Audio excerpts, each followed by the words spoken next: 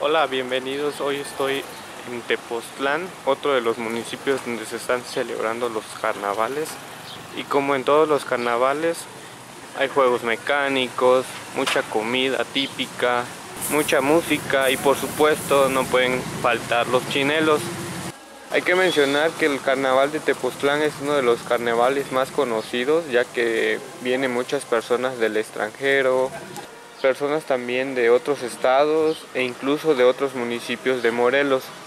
Eh, por lo general hay demasiada gente cuando se realiza el brinco del chinelo o por las tardes. Pues esta ocasión, como en los demás carnavales a los que he ido, pues empezaban a las 11 de la mañana el, el inicio del carnaval. Pero acá es diferente, este, Vine a las 11, no había nada, así que me tuve que esperar un buen rato. Y ya me comentaron que el brinco del chinelo pues comienza a las 4 de la tarde y salen de la iglesia de la Santísima de la Trinidad, que es la que vemos ahorita.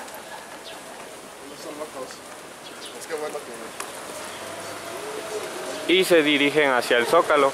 Ya en el Zócalo pues a cada media hora pues hay música de banda y hay baile de chinelos.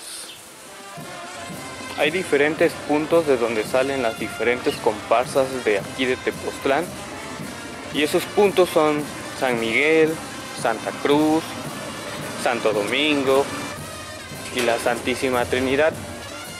Bueno, ayer 6 de febrero este, fue la salida de los más pequeños vestidos de chinelos ahí desde la Santísima Trinidad Lamentablemente no, no pude observarlos porque me perdí en las calles de, de.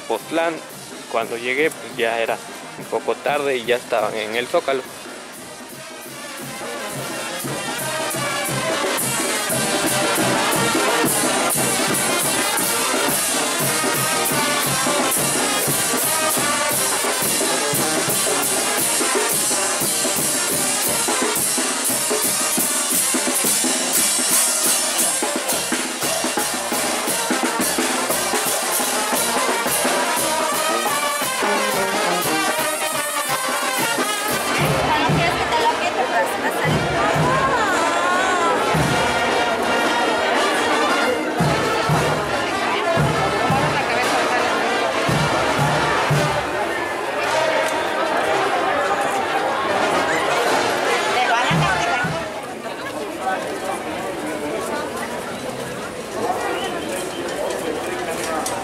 Que ya no sé de eso.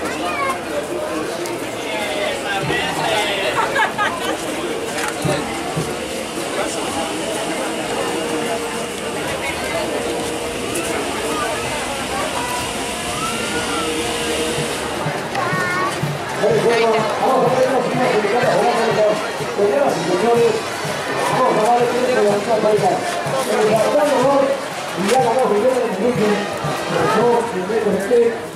Vamos a ver a hacer que se ayude a hacer